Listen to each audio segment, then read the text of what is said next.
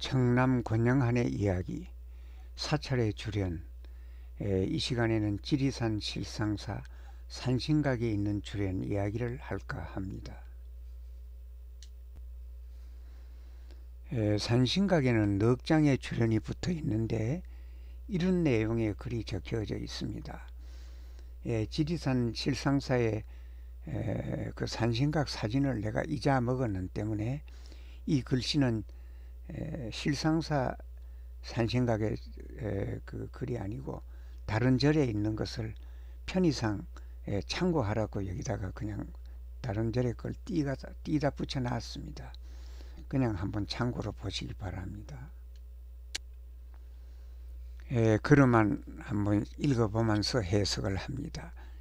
영산 석일 열의 촉이라 영산이란 말은 영치산을 말합니다.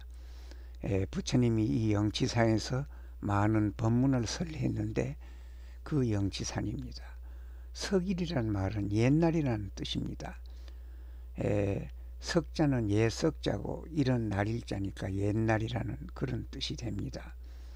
열의 촉이란 말은 열에는 부처라는 뜻입니다. 에, 글자 그대로는 에, 뜻대로 왔다 이 말인데 다시 말하면 마음대로 오고 가고 마음대로 나고 죽고 어, 뜻대로 한다는 뜻으로 열애를 부처님을 나타내는 말로 쓰입니다. 촉이란 말은 에, 부, 부탁을 한다, 위촉을 한다 그런 뜻입니다. 그래서 이걸 정리하면은 옛날 영치산에서 부처님의 위촉으로 예, 영치산에서 뭐가 이제 부처님의 위촉을 받았느냐 하면은 그 산신각에 있는 나반존자나 혹은 산신들이 옛날에 부처님이 불러가지고 그대들은 예, 이 세상의 중생을 제도하라 아마 그렇게 부탁을 한 것 같고 또 그 부탁을 받은 것 같습니다. 그래서 이런 말이 나왔습니다. 두 번째 줄은요.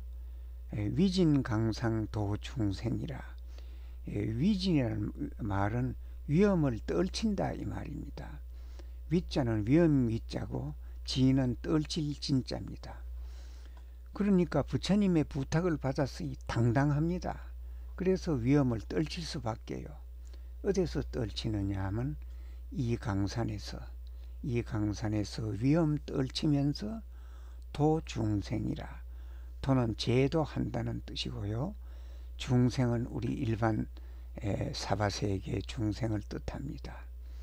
그래서 이걸 정리하면은 이강산에 위험 떨치며 중생 제도하시네 이렇게 정리가 되었습니다. 다음도 읽어봅니다.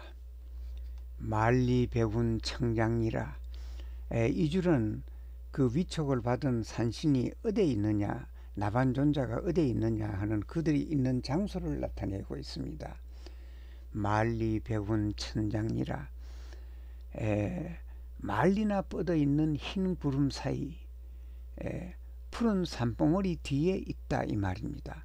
청, 청은 풀을 정자고 장장은 봉우리 장자입니다. 그래서 부처님의 위촉을 받은 그 어, 나반존자나 산신들이 흰 구름 낀 그 푸른 산봉우리 뒤에서 있다.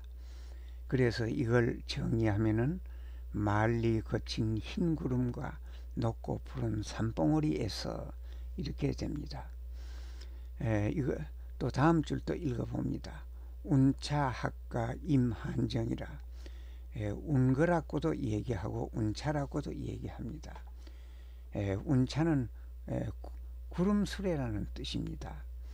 에, 이거는 옛날에 에, 선인들이 에, 수레처럼 타고 다니는 구름을 에, 운거락 합니다. 혹은 제왕이 타는 수레도 운차락합니다. 지붕이 높고 어, 지붕이 높게 달려 있고 구름이 걸려 있다고 해서 운거라고 하는 건데 에, 높은 왕, 망루가 있어서 그 사, 수레에 올라가서 적정도 살피는 데써 있다고 합니다. 예, 그런 운 겁니다. 그런 운차를 학가는 학에게 매어서 임한정이라 임한정이란 말은 한가롭게 지낸다 그런 뜻입니다.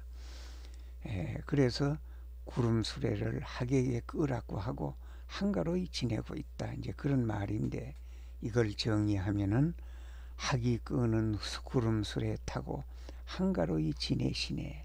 예, 이렇게 정리가 되었습니다. 예, 그러면 전체를 다 달아서 해석을 해 보겠습니다. 예적 영취산에서 부처님의 위촉으로 강산의 위험 떨치며 중생제도 하시네. 말리 거친 흰 구름과 높고 푸른 산봉우리 사이에서 학이 끄는 구름술에 타고 한가로이 지내시네. 에, 이 시간에는 에, 지리산 실상사 산신각에 있는 주련 이야기를 했습니다. 나는 지금까지도 많은 사찰의 주련 이야기를 하였고 또 앞으로도 시간 나는 대로 계속 주련 이야기를 할 생각입니다. 많은 관심 가지고 잘 지켜봐 주시면 보람으로 생각하겠습니다. 감사합니다.